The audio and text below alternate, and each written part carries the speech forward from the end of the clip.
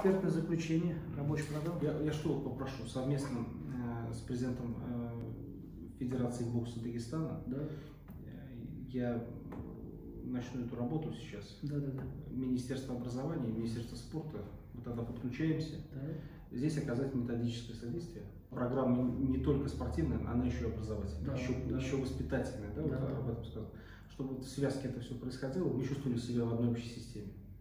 Уважаемые любители бокса, совместно мы, э, и вот сейчас с Артемом Алексеевичем мы постараемся этот проект реализовать в Республике Дагестан. Там любят спорт, там любят бокс. И проект «Бокс-школа» обязательно э, с поддержкой правительства мы там будем реализовывать. Так что добрый путь.